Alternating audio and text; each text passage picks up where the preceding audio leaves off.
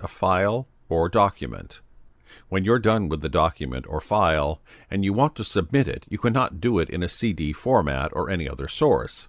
Hence, you have to print out the file or document.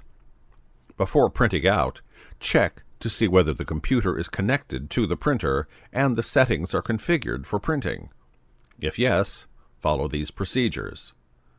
To print a file, open the file and select the File menu.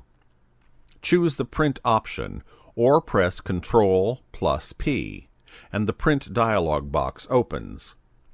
In the Print dialog box, first you will notice the Name box, where it displays the name of the connected printer. In the page range, there are a few options. All. If we check this option, then all the pages in a file will be printed. Current page. In this option, you can select the specific page. Suppose we want to take a printout for three pages in the middle of the file. Then we can opt for the Pages option. In this option, we can mention the page numbers we want to give for printing and there will be a few instructions below this option. Just follow them. In Copies, we can select the number of copies for printing.